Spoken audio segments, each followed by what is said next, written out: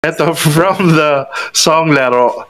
O, di ba sa akin ito binigay? La, la, la, la, la, la, la, la. Puso ko'y wag sanang paglaruan. La, la, la, la, la, la, la, la. Puso ko wag sanang paglaruan. Yes or no?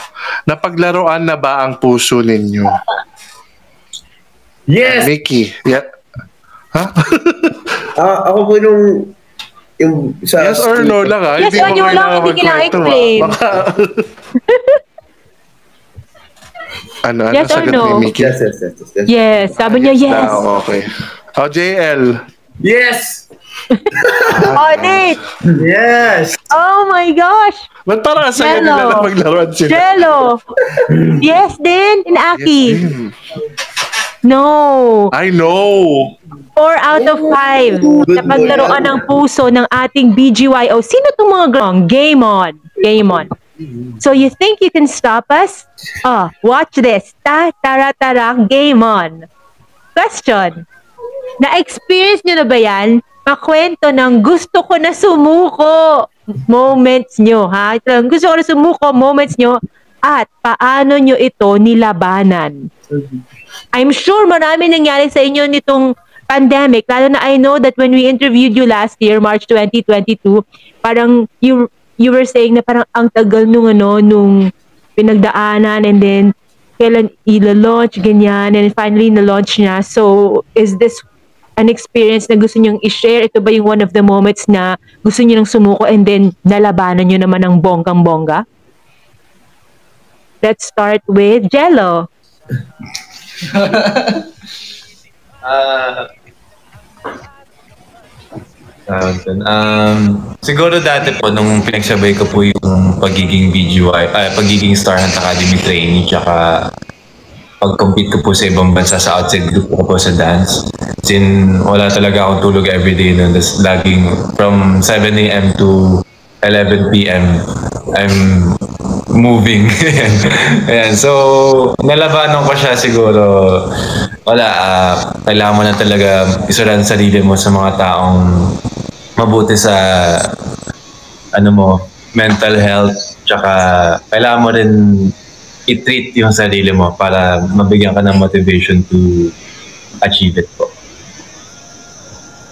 kailangan talaga may motivation ka para hindi ka mag-give up. O si Aki naman, Yes po.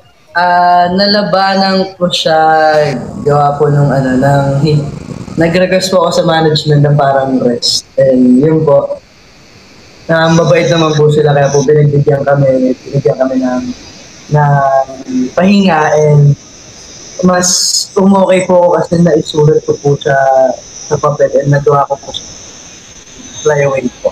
Yun po yung moment na talagang down na down na. Ayoko na, pagod na ako. So, ko na mag-quit. Pero, hindi po sumuko sa amin yung management. Parang binigyan kami ng opportunity mag-isip. And ayun po, nakasulat po ako ng kanta. Ayaw naman pala. Kailangan mangyari yon para makasulat ka ng kanta. Di ba? O si JL naman.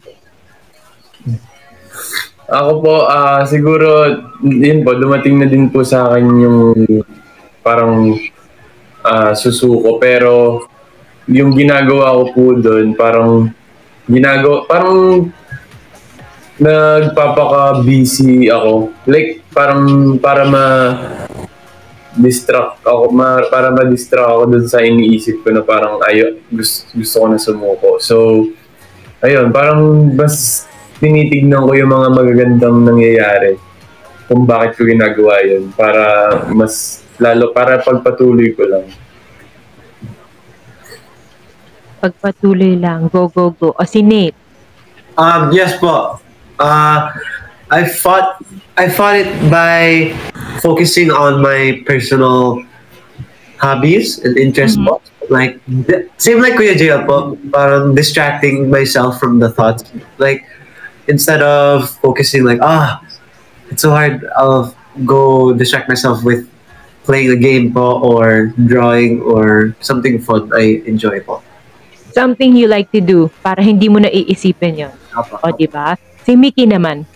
Um, actually, same din po ako with Nate and JL. You know, I try to distract myself and I find I find things na pwedeng gawin, ganun. And mostly pag ayaw ko isipin, tinutulog ko na lang po. Para mag-rest pa, di ba? Para may energy the next Oo, day, para correct. mag-practice ulit. O di ba? O, Para, at para hindi ka na mag-isip. tama. O, Ayan. partner. Uh, we are on our last part, which is the hot seat questions. Ayan. Alam na